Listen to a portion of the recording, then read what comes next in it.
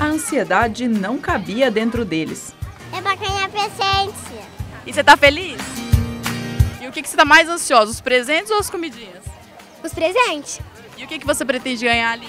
Eu pretendo ganhar uma tiara. Quer presente?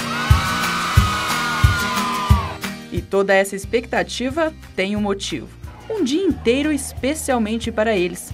Todos apostos e olhos atentos. As brincadeiras ficaram por conta da risoterapia e até quem não era criança se divertiu.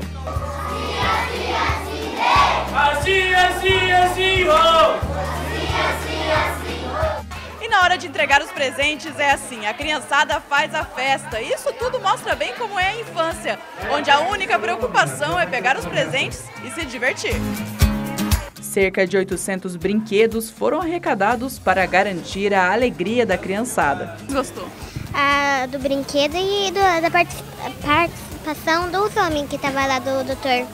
Você riu bastante? Qual foi a parte que você mais gostou? Da apresentação. E gostou de ganhar os presentes? Sim. O que, que você gostou mais? O que eu gostei mais quando eu ganhei o brinquedo. Isso surgiu numa parceria entre a risoterapia e a Igreja Assembleia de Deus. É, a gente conseguiu alguns colaboradores que puderam estar trazendo doações, é, brinquedos. A gente conseguiu uma grande força com a comunidade chinesa e a partir daí a gente teve a primeira ação, que foi em 2014, de entrega de brinquedos. Depois ali a gente continua fazendo essas ações junto com a igreja. Já é o, o terceiro ano que a gente está fazendo, então essa parceria só vem aumentando. Mais de 100 pessoas abraçaram a causa e ajudaram a fazer o Dia das Crianças mais feliz, desde a preparação dos lanches até no embalo dos presentes. A nosso objetivo é fazer uma criança feliz, né? E estamos, é, vamos distribuir presentes, é, também lanche para as crianças.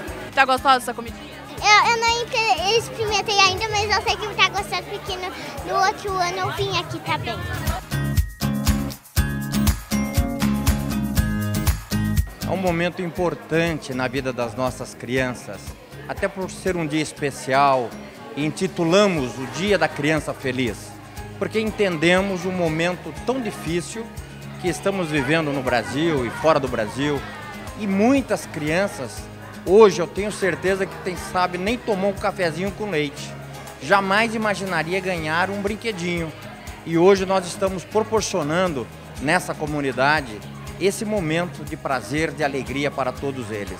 E a gratificação maior ficou para quem ajudou a preparar tudo isso. Porque eles ficam muito felizes e a felicidade da ge- deles é a nossa felicidade, com certeza.